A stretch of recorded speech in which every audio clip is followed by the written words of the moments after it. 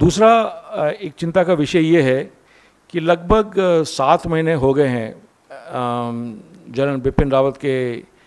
दुर्घटना के, और अभी तक सीडीएस का पद भरा नहीं गया है। सात जून को सरकार ने, रक्षा मंत्रालय ने नए नियम की घोषणा करी थी,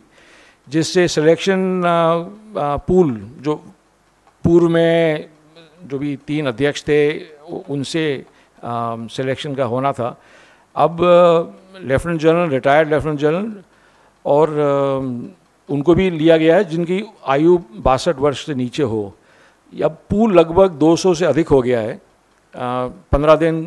बीत गए पंद्रह दिन से अधिक बीत गए और अभी तक आ, सरकार इस निर्णय नहीं ले पाई कि सीडीएस आगे अगले सीडीएस कौन होंगे। ये तो स्पष्ट होता है कि पूल बड़ा करने से जो वर्तमान में दो तीन सेनाध्यक्ष हैं, उन पर सरकार का विश्वास नहीं है, क्योंकि वो अगर विश्वास होता if they were of the right calibre then the government would not have had to increase the pool of selection the fact that the selection pool has to be has had to be increase it means there is a lack of confidence और as the veterans keep remarking that the government wants to play uh, a deep selection role and find a suitable like-minded CDS either way what जो भी निर्णय हो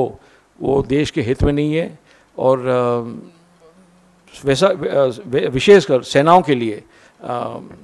हानिकारक है